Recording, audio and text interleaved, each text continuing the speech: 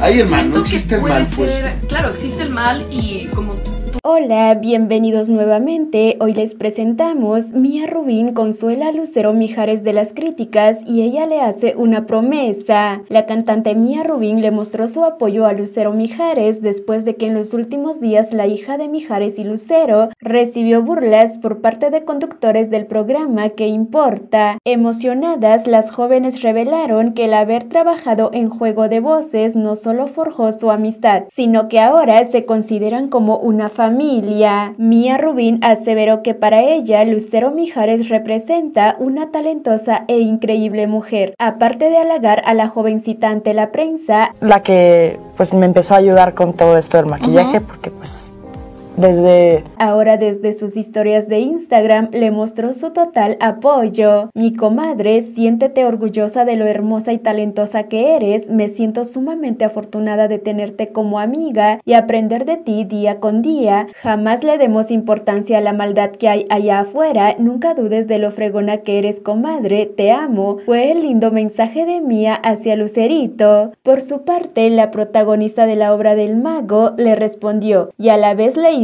una promesa de que si se meten con ella les va a ir muy mal. Te amo mi comadre, aquí estoy siempre y que no se metan con mi amiga porque les va a ir mal, afirmó Lucero Mijares. De esta manera, Mía y Lucerito rompieron toda clase de especulaciones. Me matas corazón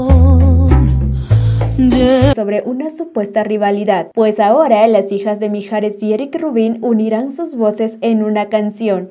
La canción que van a estrenar el 19 de mayo se llama La Barca, es un tema mexicano compuesta por Roberto Cantoral y que ha sido interpretada entre otros por los tres caballeros José José y Luis Miguel. Esta nueva versión será incluida en el nuevo disco de Mía Rubín Legarreta. Y bien, ¿qué opinas de esta amistad entre Lucerito y Mía Rubín? Halloween.